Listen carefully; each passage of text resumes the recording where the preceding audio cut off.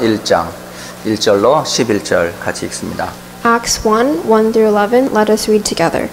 데오빌로여 내가 먼저 쓴 글에는 무릇 예수께서 행하시며 가르치시기를 시작하신부터 그가 택하신 사도들에게 성령으로 명하시고 승천하신 날까지의 일을 기록하였노라. 그가 고난 받으신 후에 또한 그들에게 확실한 많은 증거로 친히 살아 계심을 나타내사 40일 동안 그들에게 보이시며 하나님 나라의 일을 말씀하시니라. 사도와 함께 모이사 그들에게 분부하여 이르시되 예루살렘을 떠나지 말고 내게서 들은 바 아버지께서 약속하신 것을 기다리라.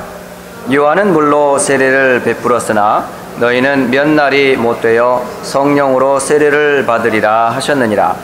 그들이 모였을 때에 예수께 여쭈어 이르되 주께서 이스라엘 나라를 회복하심이 이때니까 하니 이르시되 때와 시기는 아버지께서 자기의 권한에 두셨으니 너희가 알 바 아니요. 오직 성령이 너희에게 임하시면 너희가 권능을 받고 예루살렘과 온 유대와 사마리아와 땅끝까지 이르러 내 증인이 되리라 하시니라. 이 말씀을 마치시고 그들이 보는데 올려져 가시니 구름이 그를 가리어 보이지 않게 하더라.